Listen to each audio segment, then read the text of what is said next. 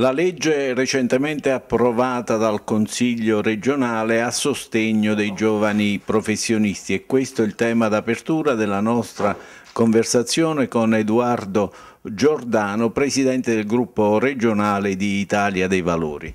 Una legge importante. Allora, sicuramente eh, eh, quello che è stato approvato ieri è una legge che finalmente eh, riporta il Consiglio a parlare di attività produttive. Questa volta è, una, ehm, è rivolta verso una categoria diversa, quella dei liberi professionisti, cui, eh, ed è rivolta specialmente ai eh, liberi professionisti giovani. E eh, quindi una legge che permette un, ehm, dire, di garantire eh, quello che è la... Mh, dire, la, la, libera, eh, cioè la, liberalizzazione, quindi eh, la, la, libertà nel eh, fare eh, il proprio lavoro, la, la libera eh, professione e eh, soprattutto favorisce anche le associazioni, ma la cosa caratteristica, anche se poi il fondo è, è diciamo, simbolico, soltanto di 50.000 euro, ma anche di poter attingere tipo un prestito praticamente per i giovani che vogliono immettersi nel campo lavorativo libero professionale, una specie di prestito a cui poter attingere e quindi poi con calma poter restituire. Ripeto, la somma è simbolica, però poi dire, si spera che andando avanti eh, nel tempo questa somma possa essere molto più congrua. Comunque ecco, è, eh, vediamolo come un segnale di auspicio, di buona volontà e soprattutto di, eh, che il Consiglio ha nuovamente ricominciato a parlare di lavoro e lavoro specialmente per i giovani e questo sicuramente è una nota importante. Ecco, come i giovani professionisti potranno accedere a questi benefici seppur minimi previsti dalla legge? Vi sarà una graduatoria, bisognerà fare delle domande? No, sicuramente ci sarà una domanda d'accesso a cui poi dopo ci sarà una valutazione e quindi eh, l'erogazione eh, delle risorse. Eh, certamente eh, è un inizio, questo ripetevo, ed è un inizio che eh, si spera che possa essere sfruttato e visto nell'ottica giusta. Intanto cambiamo, cambiamo pagina, torniamo sulla questione delle nomine ASL e soprattutto a quanto sta accadendo a Caserta. Allora, eh, ritornando al Consiglio regionale, ieri è successa una cosa simpaticissima, cioè non si è persa quella cattiva consuetudine di fare emendamenti e subemendamenti per cambiare eh, titolo e quindi inserire subemendamenti che nulla hanno a che fare con la legge. Mi riferisco a quella sui consorsi ASI, ehm, a quella scusa, su cui praticamente hanno messo piano casa, eh, nomine ASL, anche se poi la, eh, diciamo, quella che interessava poi proprio le nomine, o meglio la graduatoria di quei registri, di quegli elenchi in cui poi si prendono i direttori generali, eh, sono, eh, sono stati rimandati in commissione. Vi è una uh, grossa polemica sulle uh, nomine dei uh, direttori generali. Polemica dovuta a che cosa? Che è vero che la scelta è fiduciaria da parte del governo regionale, però vi è anche un diciamo, un elenco di idonei, cioè veramente la regione annualmente bandisce il, eh, dire, un concorso a cui chi pensa di avere i requisiti eh, manda l'istanza, manda i propri requisiti e quindi eh, si entra fra gli idonei.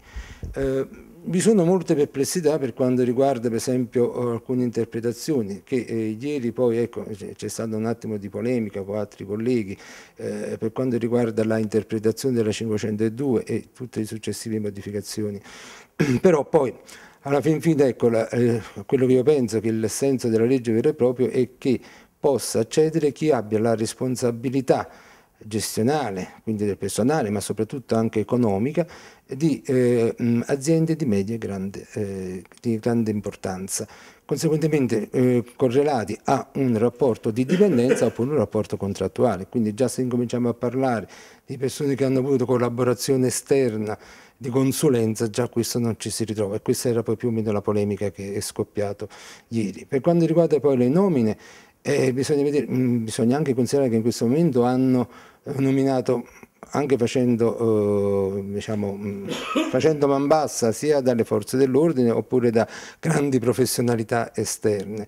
Mm, se vogliamo, ecco, poi questi grandi risultati non ci sono stati, perché se parliamo della Napoli 1, sicuramente una persona di grande, eh, di grande spessore, però poi quelle che erano eh, le attese, almeno quello di avere un quadro dei debiti dell'ASRC Napoli 1, questo non è stato ancora, um, come dire, non è, stato ancora, non è ancora avvenuto, non è stato ancora accertato. A Casetta abbiamo una grande professionalità che viene da fuori, e però poi alla fine c'è una condotta, a mio avviso, che non, eh, dire, non rispecchia quelle che sono le condizioni del piano di rientro, quindi con una, ehm, dire, con una gestione che eh, comunque fa scontare all'utenza molto di più rispetto a quello che è, eh, poi sono i sacrifici imposti dalla, eh, dire, da, dal piano di rientro stesso, idem su Salerno, quindi ci sono tutta una serie di polemiche, mentre invece proprio in questo momento eh, i fiduciari della uh, sanità in Regione Campania dovrebbero essere delle persone che dovrebbero nel loro sforzo portare quando più è possibile al, eh, diciamo, risanamento e cercare di far, nel, ovviamente per quanto è più possibile, eh, riportare, eh, di riportare quel poco di risorse che ci sono tutte a favore dell'utenza. per esempio, ecco, per dire una condotta che è una pratica che molto spesso è antipatica, cioè se si va a un laboratorio d'analisi con la ricetta, molto spesso si vede che il ticket è decisamente elevato. Vi sono numerosi laboratori d'analisi che danno le stesse prestazioni a un prezzo che è inferiore rispetto al ticket e a quel punto la persona le paga.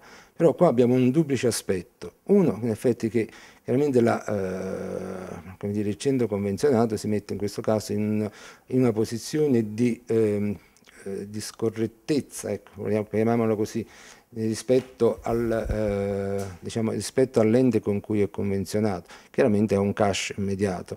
Dall'altra parte però già non avere il riscontro del ticket significa un minore introito da parte dell'ASL e quindi conseguentemente allungare sempre di più i, eh, dire, i tempi per eventuale rientro e cioè per il sicuro rientro eh, dal, diciamo, dal, dal piano sanitario e quindi poter ritornare a una gestione non commissariale. Quindi ci sono tutta una serie di cose a cui i direttori generali dovrebbero far, eh, questo è un esempio molto banale ma molto, dire... molto significativo, la prestazione che è inferiore al costo del ticket. Se aumenti i ticket che a questo punto la, eh, il centro lo, o i centri danno, ti danno la prestazione a prezzi inferiori rispetto a quello dei ticket, ecco che abbiamo un duplice danno.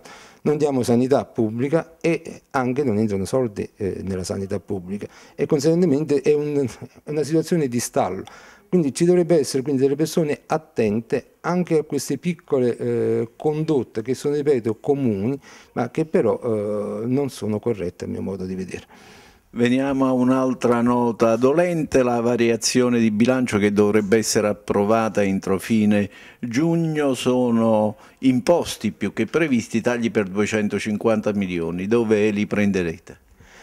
Allora, sono tagli imposti sono tagli che purtroppo eh, si dovranno fare. Io eh, ancora allo studio, mi auguro che sicuramente non vengano prese dalle risorse per le attività produttive, non vengano prese, eh, sicuramente qualche cosa sarà tagliato qui sul Consiglio, qualche cosa sarà tagliato lì dove vi possa, può essere una uh, spesa che possa essere razionalizzata e ancora allo studio mi auguro che influisca quanto è meno possibile sul, meno sul mondo del lavoro che questa è la nostra emergenza immediata in questo momento.